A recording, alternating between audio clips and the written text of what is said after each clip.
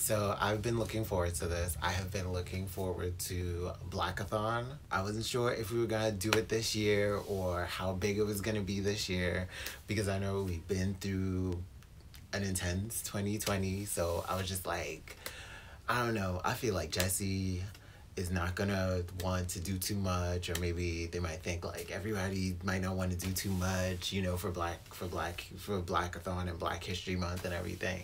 You know we might just take it easy so we might still do blackathon but it's gonna be a little bit more you know laid back a little bit more laid back. And i love that they brought blackathon back and they brought it back even bigger and better than before like than the past two years. We're having like more challenges, more teams. There's even more accessibility.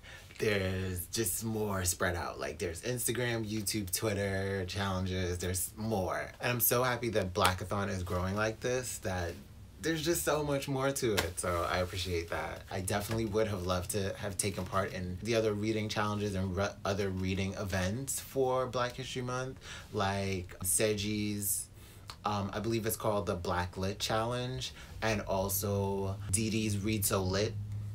I would have loved to have also taken part in those, but I'll work. And I am being very responsible and reasonable with my TBRs, but I will also try to look into those challenges as well and see if anything that I'm reading, currently reading, will also be able to, I can integrate those into those other challenges, all those other reading events for Black History Month. At first, when I heard the theme was gonna be traveling, I'm like, do I have any books about traveling? Like, like actual physical traveling, but also like really taking a journey through your life or like a journey that's not necessarily like tangible like do we like do i have anything like that you know? And most books are journeys. They are a journey.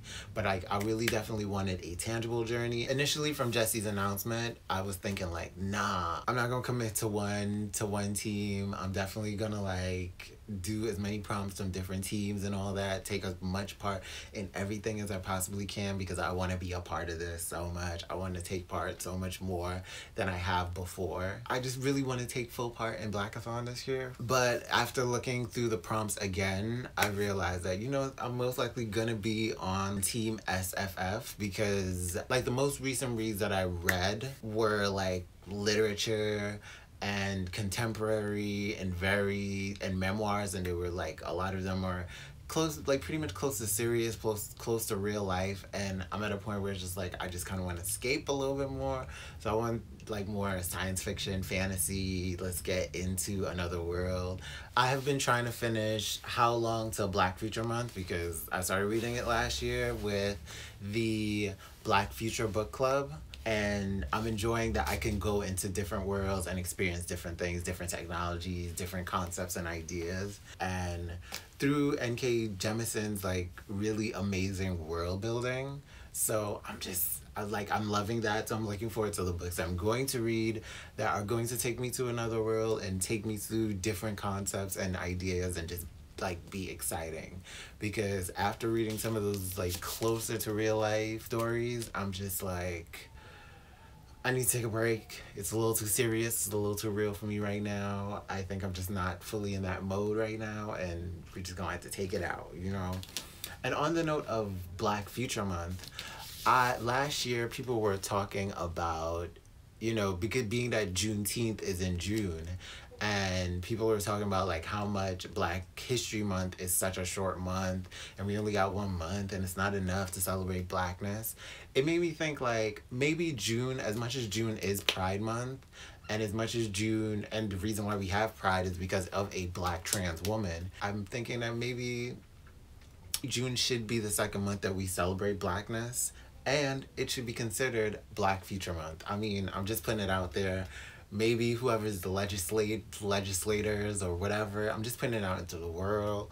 Somebody's gonna pick it up and be like you know what? You're right. Maybe june should be pride but also it should be black future month. There are months that celebrate two different events and celebrate i don't know two different sets of things. Like there are days that celebrate two things at once where we talk about like the future of, of, of of blackness and seeing black people in the future like you know like what is the, what does the future look like for black people and celebrating ways that black people are innovating for our futures and the futures of humankind. Please, like let's let's start having the discussion about a Black Future Month and make it in June to celebrate Juneteenth, you know, and like wrap all that up in there. It's gonna be bursting with like blackness. We're gonna celebrate we're gonna celebrate black history and blackness and come you know, we're gonna do that. But let's have that discussion about June being Black Future Month while we also have Black History Month in February because we deserve period okay period and on the note of celebrating blackness i am wearing black magic it has like little like I don't know, confetti in the black. I'm wearing this in honor of Black History Month for Blackathon and all of it. So here's my TBR for what I will be reading for Blackathon and just Black History Month in, in general. We're going to start with the prompts for Team Science Fiction Fantasy Team SFF. Although I say I'm going to be doing like Team science, science fiction and fantasy, I'm going to also still kind of see if I could like get into contemporary literature and nonfiction because I got some books for that too. But we're going to try and see what we could, you know, get up in there and make happen. Also, the group book for each team, I most likely am not to read those, but I'm to keep them on my list, come back to them, you know, because I definitely wanted to read The Secret Lives of Baba Seji's Wives because that sounds juicy. That sounds like my kind of story. That sounds like mess, and I'm here for that mess. I will definitely check out The Lesson by Cadwell Turnbull and see if it's something that I'll be interested in reading. And for the thrillers, I don't really have anything thriller yet. I still haven't picked up my um, Tiffany, what is it, Tiffany D. Jackson. I think she's our, our thriller queen. I will definitely be checking her out um, because a lot of her books sound amazing and I want to get into some thriller through her. But I will definitely check check out Wife of Wife of the Gods by Kwei Quartey and start getting into like any other like thriller horror novels. I'm not much of a horror person, but you know, I'm I'm trying new things, trying different things, keeping an open mind about it. So for the first prompt, Rita Woods a character traverses a realm or heavily embodies black spirituality or black spiritualism. And for that, I was, I feel like I've already kind of read something with a character with black spirituality, and that was The Stars and the Blackness Between Them. Most of the books that I'm going into, I'm going into them without knowing much. Maybe I know a little bit of synopsis, maybe I will know a little bit from what somebody else talked about the book that got me interested in it but I really don't know enough to know if it would have certain things that are called for the prompt. So I'm gonna go with what I could get from the synopsis and for what I think might be happening in there. So we'll see if it if it meets the prompt or not. But for that, I figured I would reread Beast Made of Night and then read Crown of Thunder because I know this is like traversing a realm and there is some like black spirituality like written into this or at least some African spirituality that is written into this story. So I am so I'll definitely try to read the two of these. It's gonna be a hefty thing to read like two books back to back. Granted, they're like what I think like three hundred pages, and it's like fantasy and it's pretty light, but it's still like. Girl, it's gonna be a lot to read. And also for that, I figured I could also read Excellence by Brandon Thomas, Khary Randolph, and Emilio Lopez. I've been longing to read this for the longest, and black, and I've kind of held it back now to this point for Blackathon. I'm thinking this would be good because I know there is different kinds of magic and spirituality, and a lot of that embedded into this book you know, there's probably like voodoo and hoodoo and all that integrated into this story. So I would definitely want to add that. The second prompt, Tade Thompson, a black protagonist encounters an alien civilization or alien technology. I have Rosewater by Tade Thompson, and that would probably be a really good book to read for this prompt because I believe it. I know, I know it is like futuristic Nigeria, and I think there might be some alien technology or alien like in getting in encounter with aliens in that book, but I'm not ready to read it yet. But I figured I would read Binti by Nnedi Okorafor. From what I read of the synopsis, it seems like it is a kind of space opera of sorts in a way and it's a journey it's traveling i believe the main character binti is like traveling from i think from my understanding from what i've heard before Binti is traveling from Earth to this university on another planet to learn about like math and a whole bunch of stuff. Although I heard it's a little heady. I'm gonna read it. I'm gonna read it. And I hope I have fun with it. I definitely believe I'll have fun with it because I've heard a lot of great things about it and I'm excited to read it. Third prompt Octavia Butler. Time travel is a major component to the story. And for that, I will be reading Kindred, which is an Octavia Butler novel, and it definitely does have time travel. And I started reading a little bit of it, and so far I'm enjoying it. It's ooh, it's good, but I only got a little bit in, so it's like I'm, I'm it's fair. I'm I'm fair. And I'll be reading this for February and for Blackathon.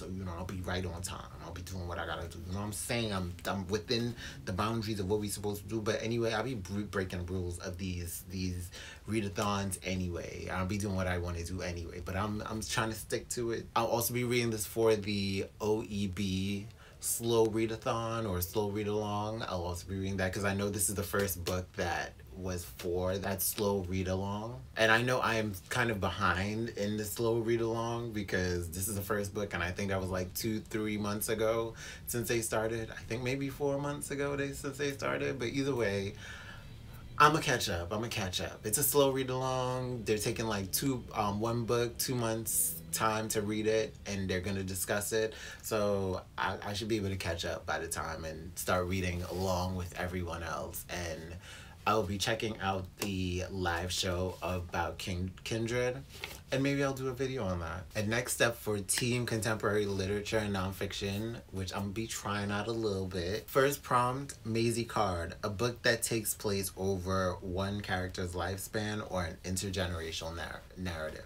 It would have been great to have read Red at the Bone for this prompt because that is an intergenerational narrative and kind of like spans the lives of some of the characters. So I was thinking I Can't Date Jesus by Michael Arceneaux or How We Fight for Our Lives by Saeed Jones, since they're both memoirs, or Freshwater by Akwaeke Emezi. I really want to read this, and I think this is a good enough reason to read it. I also kind of wanted to read these memoirs too, but also I'm like, this feels like an intense memoir, and I Can't Date Jesus seems like a fun memoir to read. I heard it's super funny, but ooh, this font is kind of small.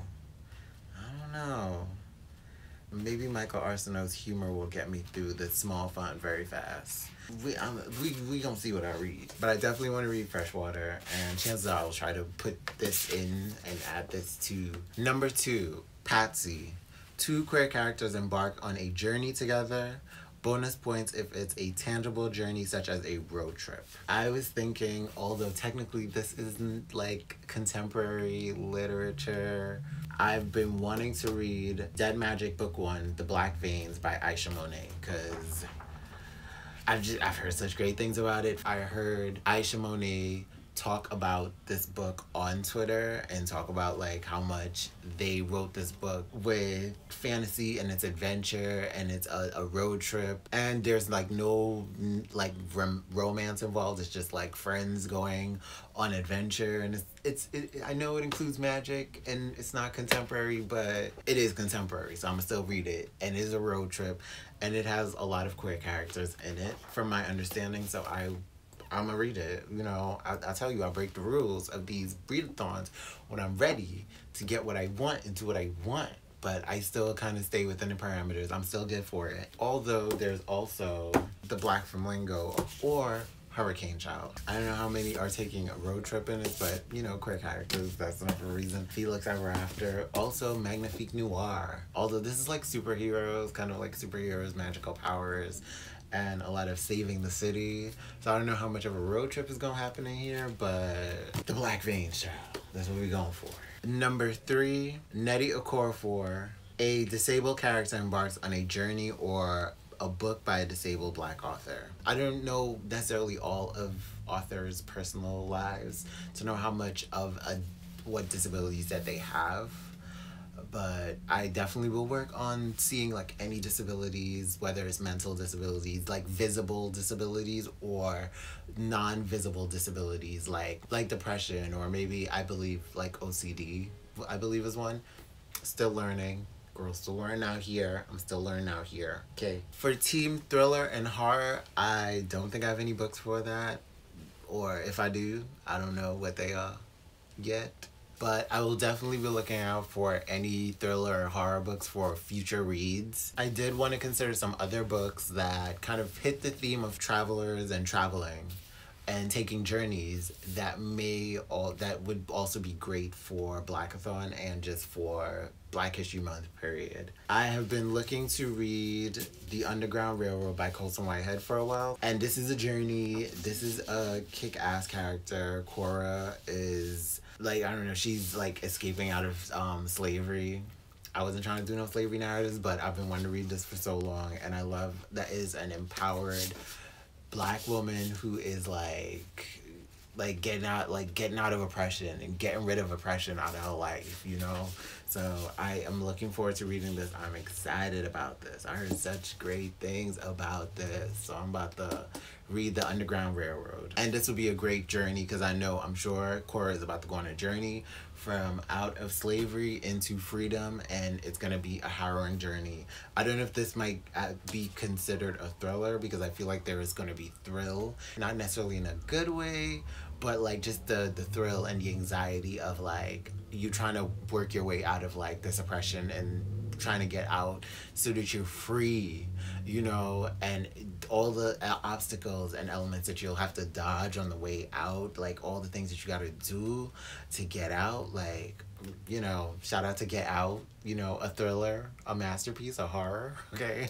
Like but definitely like all the things that you're to need to do to get out of oppression. Also, I have been looking forward to reading Black AF, America's Sweetheart by Kwanza Osejyefo and Tim Smith III for the longest. It's a short little graphic novel. I believe this is the only, this has been the only volume of this from my understanding, but I'm excited about reading this. I love the artwork and it is a young black girl who is a superhero and i'm excited to read it. I'm looking forward to reading this and seeing how this goes but i really really love the artwork. The artwork is so beautiful to me. It's like so beautiful.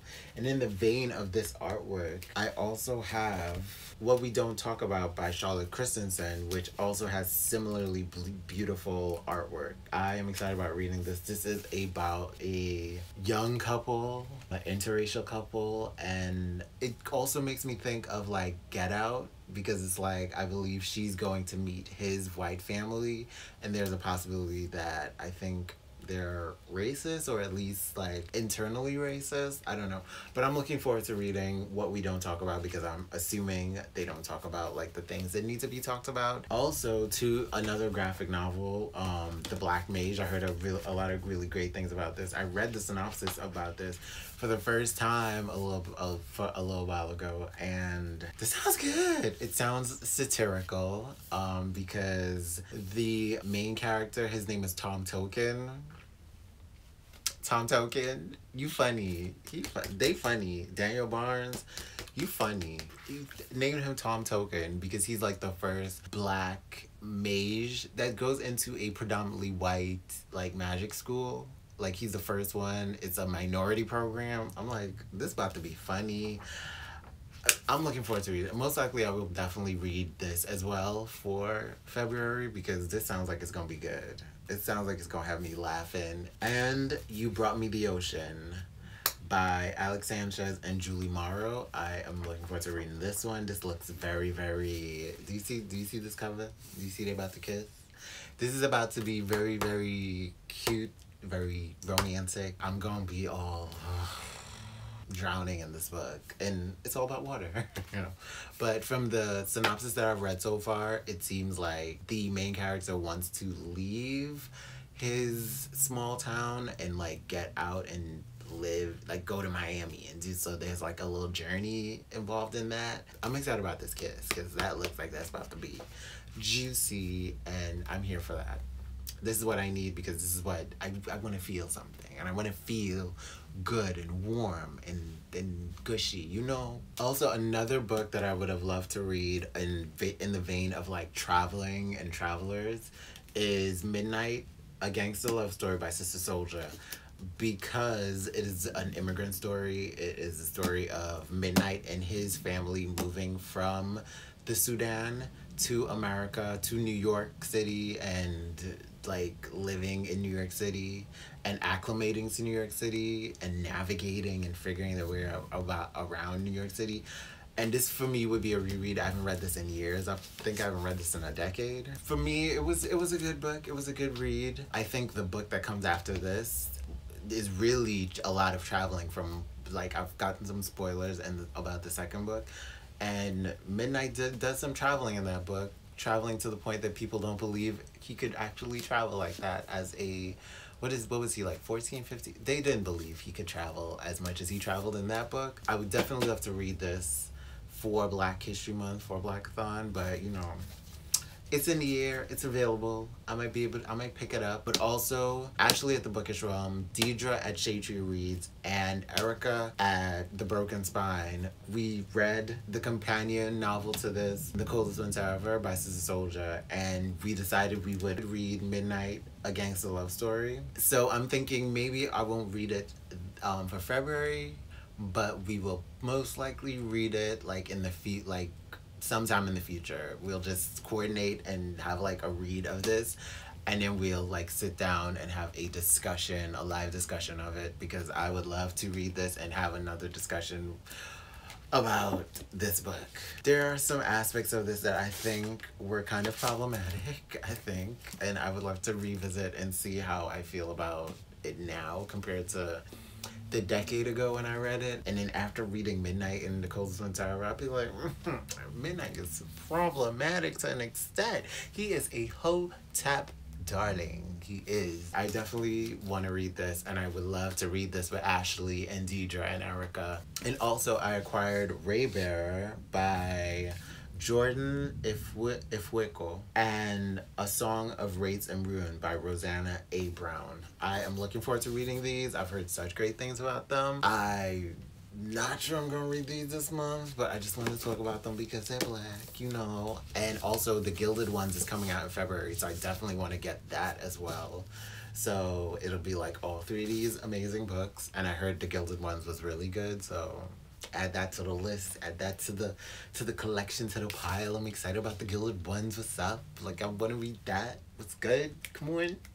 So i'll be there for the release. I think i might pre-order it. I'm not one for pre-ordering. I'll just let the book you know drop. I don't because i don't plan on reading it immediately. Okay so i said i didn't want to read i didn't want too much. I didn't want to have too much for my tbr for february because i I work. I gotta work. I'm telling you, I got to work. I have jo- I have a job. Bitch, I wish I was a city girl so I could be out here like, bitch, I don't got a job because I am a job. This is what I'm reading. I seem to be reading a lot. I, yes, also will be reading a lot of graphic novels. This is gonna be exciting because I definitely want to read all these graphic novels. I have a lot of like graphic novels and comic books that I need to read. I wanted to I, I wanted to get Far Sector, but well apparently the series isn't done yet, you know. So there was no like bind up of it.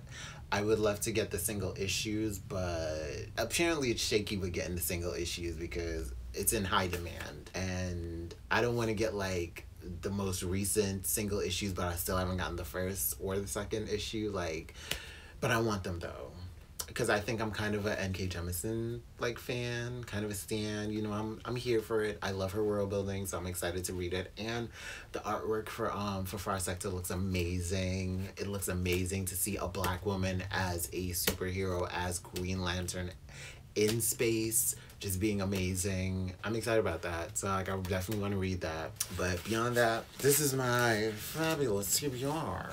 She's doing a lot for me today. She just it's gonna be a lot. So, but that's all the more reason why I started Kindred in the first place. I started it so early, started at the beginning of January because I already felt like I I want to read a lot of books. And I will do my best to read all these books. I will do my best not to be distracted and not to be caught up on Twitter. It's gonna be a lot of adventures, a lot of traveling to different worlds while I travel to and from work.